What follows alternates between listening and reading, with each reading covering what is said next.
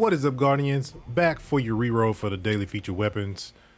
And we have the Whispering Slab with Swashbuckler, Hipfire Grip, Draw Time Masterwork.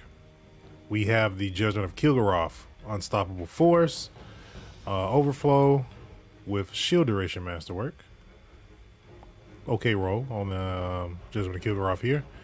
Got the Cold Denial with Multi-Kill Clip, Grave Robber, ricochet rounds, and stability.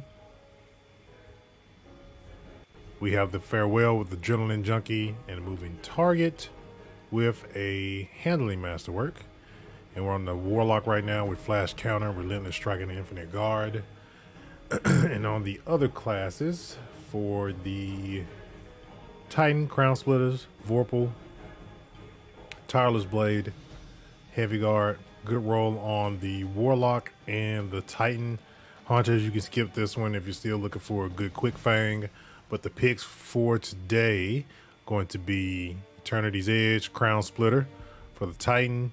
And you can also swing by and pick up yourself a Judgment of Kelgorath with Unstoppable Force and Overflow.